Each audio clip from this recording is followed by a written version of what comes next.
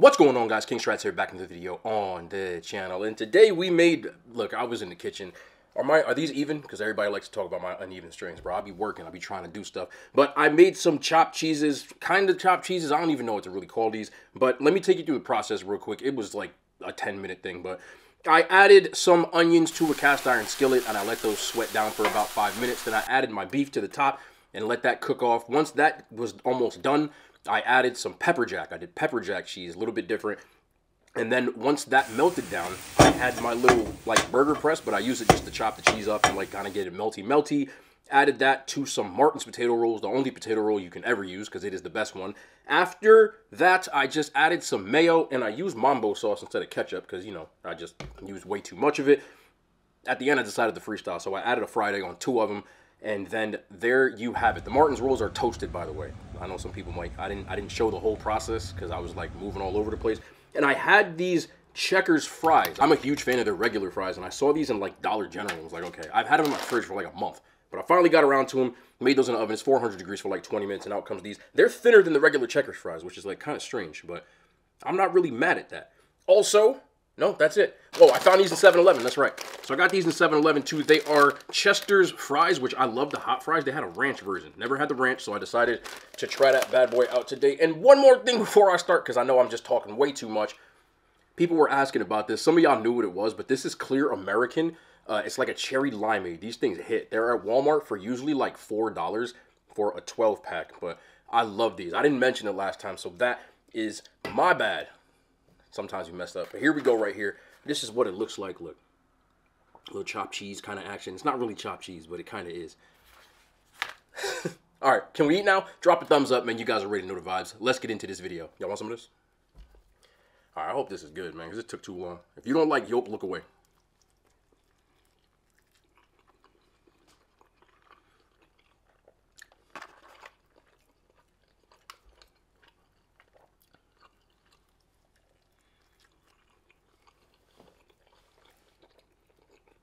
Actually just turned my camera off and I took a bite.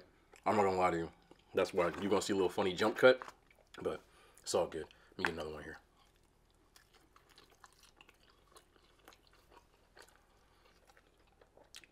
Just hit though. Let's try these checker sweet potato fries. They have the same seasoning that you get on the regular checkers fries. I can see it all over it.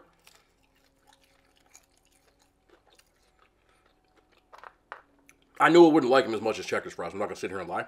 I do like them, but I prefer regular fries. The regular Checkers fries you get in a bag, if y'all don't buy those already, just go to the frozen food section. They should be there. I found mine in Dollar General. Those are better. These for a sweet potato fry are good though. I'll give them a six and a half out of ten. I'm gonna be real. I'm gonna be real. These is hitting, but it's not my best work, but it's good work. Judging by my own scale of cooking my own stuff, I'll give them a seven and a half. Yes, and a half. I would eat this again, but I would change something a little different, which is maybe what I put on top. Like, originally I was thinking doing like a kimchi, like a Korean version, with like some bulgogi or something like that, because I had the Trader Joe's, but I forgot I ate it when I reviewed it. they ain't here. You know what I mean? I'll be honest with you. Oh, that's a crazy yolk. I'm sorry you don't like that. And again, we're going to clear American this.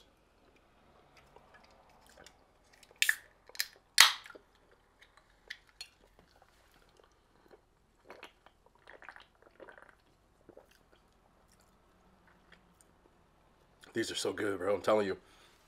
Walmart. Gotta find those. Before I chop it up with y'all, let me get this out the way. Chester's Ranch fries. I like their hot fries, but i never seen a ranch. I found these in 7-Eleven. The ranch smell is heavy. It smells like the Hidden Valley, like the ranch seasoning that you get. Yeah, I miss my mouth. I ain't gonna lie. Honestly, these are better than I thought they'd be. I had the Takis of these, and I didn't like them at all. These, it just tastes like the regular ones with that Hidden Valley on here. I'm gonna keep some of these. I think they would hit if you like a sandwich or something like that. They would hit. Again, I wouldn't pick these first because like too much of ranch of something would be just overkill. But I like these more than I thought I would. I'll give them a 7 out of 10. Couple things. Gotta talk to y'all. First one. This is more, again, informative. Because a lot of people be, like, commenting stuff. And I want y'all to know, like, I'm, I'm, I be on, you know, I, be thinking like y'all sometimes. So, when I do the car videos, my first car that I had, not this one, I got an SUV now. I mean, people have kind of noticed that. You can tell by the amount of seats. Um, a lot of y'all are talking about my window tints. Saying I got to tint my windows. My first car, when I was originally doing it, it didn't have windows tints. This one does. Some people, I don't know how y'all window tints work, but mine, I can see out better than you can see in the car. So when I'm filming from inside the car, it doesn't look like it's tinted, but I have a picture of the window of my car. This is what it looks like. You can kind of see a silhouette. I don't have illegal tints because I'm not trying to get pulled over like that, but they're tinted enough that you can't just look in my car and see what's going on. I'm not that crazy. I just want some of y'all to know. Some of y'all like, hey, I'm just looking out for you. Like, you're not really looking out for you, but they're tinted. The car came with tinted windows. Most SUVs come with tinted windows, by the way. But my fronts are even tinted. Not the windshield, but when you buy an SUV, nine times out of ten, the back windows are tinted all the way around, and then the front ones aren't. But mine, there are tints in the front too. They're just, it's not like 5% tint, but you can't just see in my car. That's why yesterday, them people, by the time they realized somebody was in the car, they kind of did a double take. Y'all couldn't see it. But they might have been able to see a silhouette, but they couldn't just see a dude eating chicken wings. I'm not that crazy. I just want y'all to know. So there's a lot of people that was like, over the last like week, man, you got tinted. They're tinted. I be moving, bro. I'm not an idiot. All right. I just did a video in Paterson. I wouldn't just be sitting in Paterson fishbowling with a camera up. That's crazy. It's all love. I know people don't mean no harm by it. I'm just telling y'all. The windows are tinted. I'm, I'm, I'm chilling. But let me ask y'all this. How do you feel about the big news today that supposedly, well, not supposedly, this is what happened. The Senate voted in favor of, it's not direct, but more or less, people are calling it the TikTok ban. Now, it's an actual act that prohibits like entities from other countries, businesses from collecting data, etc., which they're accusing TikTok over. Uh, but I see some people are like, you know, good. I don't like it anyway. And some people are obviously upset by it. Now, as a creator, I obviously have a vested interest in this, considering like one of my revenue streams is TikTok. Um, but that in and into itself, I understand that most people say I don't feel bad for those type of people that have to find a real job. People that think this isn't a real job, I, I don't want to argue about that. That's your prerogative. I understand where you're coming from because you know I've talked about how easy the job is in one sense, but also how draining it is mentally. But that's neither here nor there. Not everybody that makes additional revenue on TikTok is a content creator, does it for a living. Some people do it as supplemental income. And given the cost of things these days, there are people who just make want to make a little extra money making posts and things like that where they're just posting random stuff, but you still I don't know if people know how it works, but the creator fund and what now is the creativity program, it gives you money, pays you just like YouTube does, but obviously in a different sense. The the revenue per I don't want to go into all the technical stuff, but the money you get for ad revenue on YouTube is significantly higher with longer videos, um, with like your AdSense as opposed to what's on TikTok with the creativity program. But there are people making good money on there again that don't do it for a living. They're just doing it.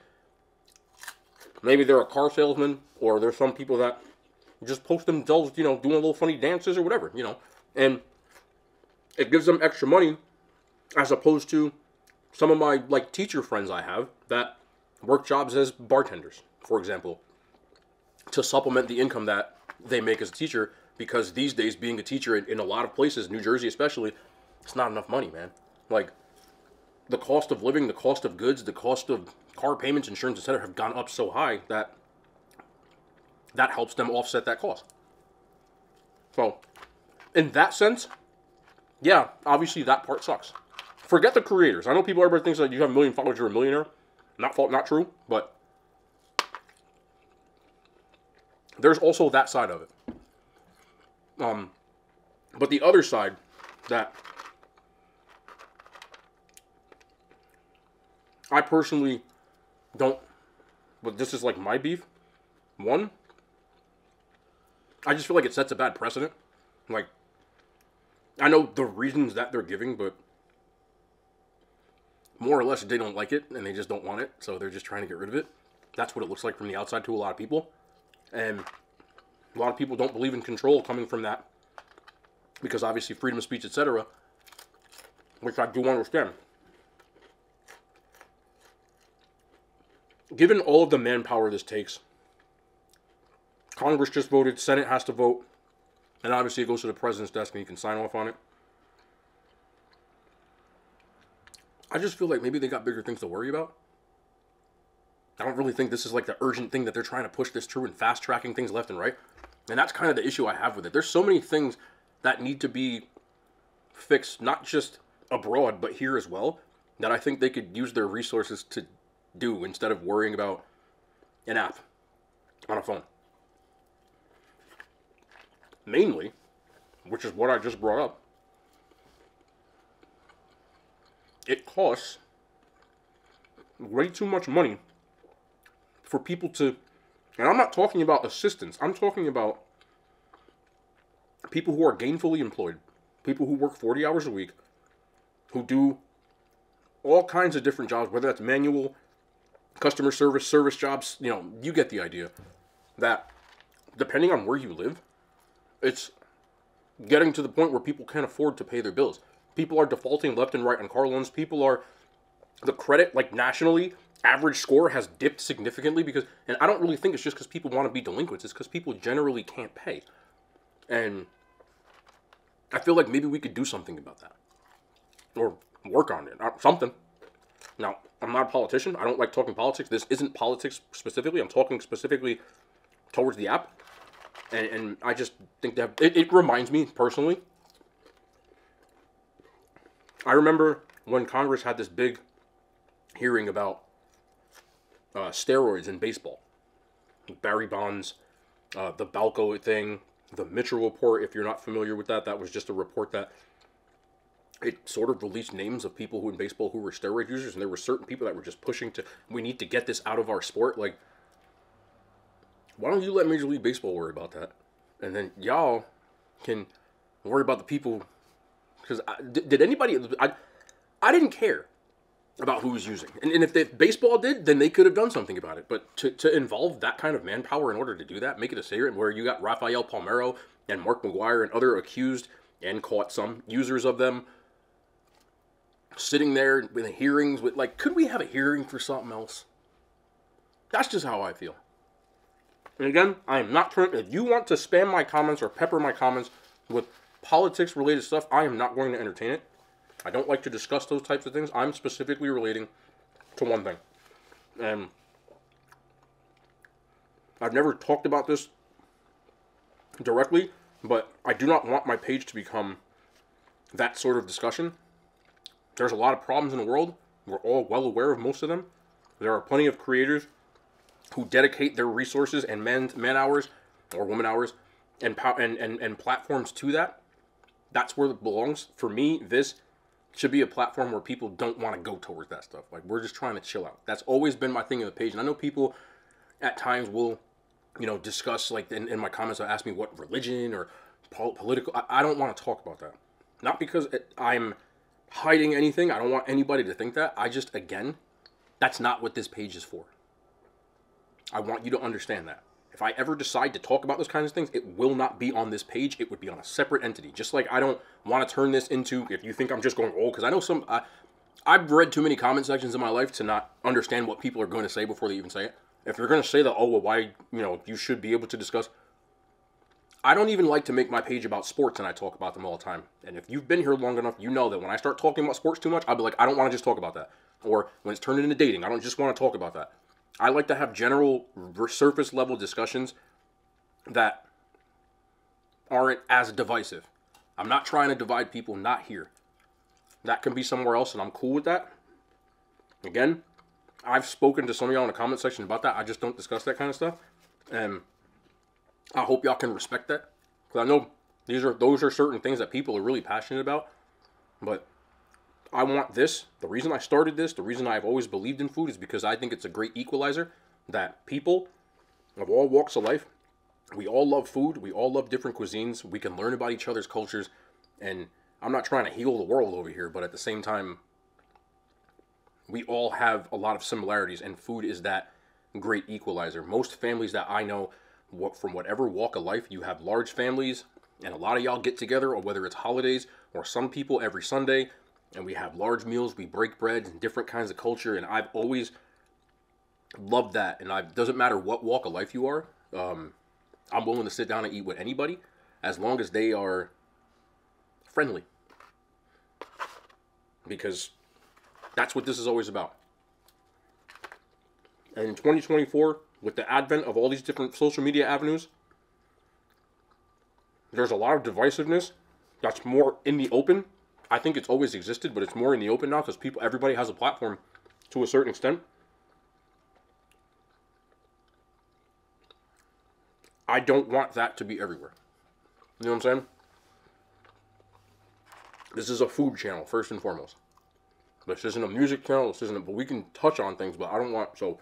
I want people to understand that, and hopefully y'all respect it. I know some people don't care, but I've always said this. I don't care what walk of life you're from or what your beliefs are, I am willing to have a conversation as long as it is respectful with anybody because that's the way you learn to understand other people.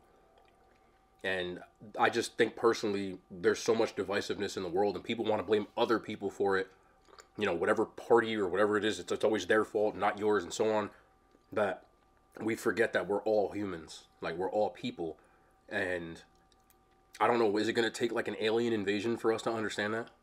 And that, that's the part that like is upsetting to me. We forget that. We can't have civil discussions anymore without people trading insults and personal attacks in public. We can't have like just a regular civil adult some of y'all ain't adults but still y'all are young adults adult discussions.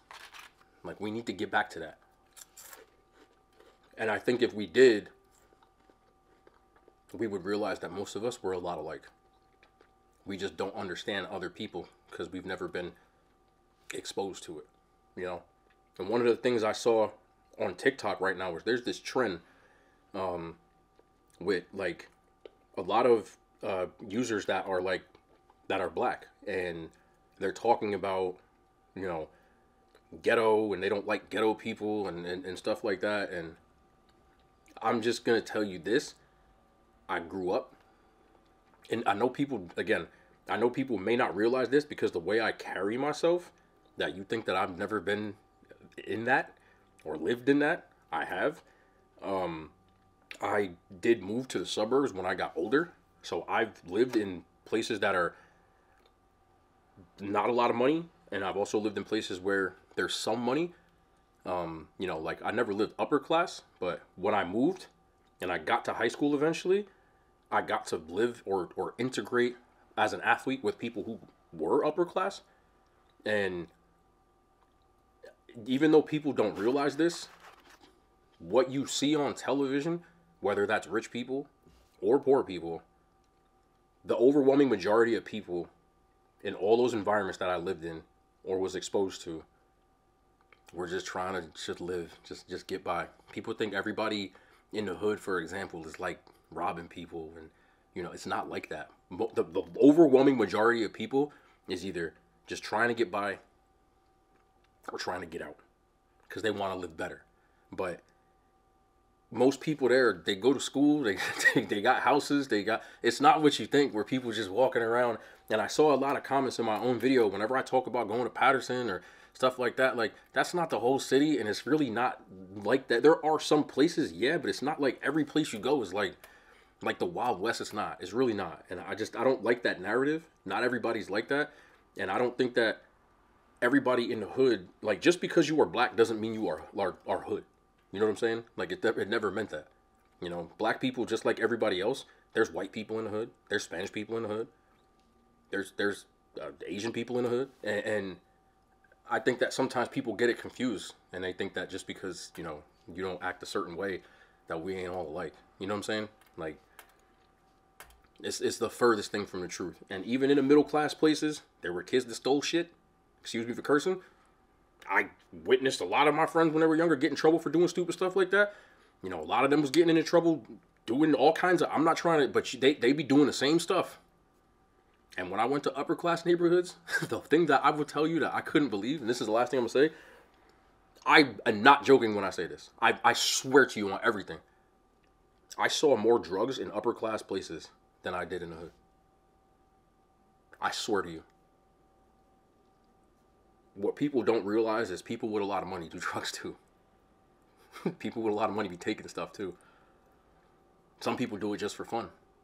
But you'd be surprised. It's not what people think when it comes to this kind of stuff.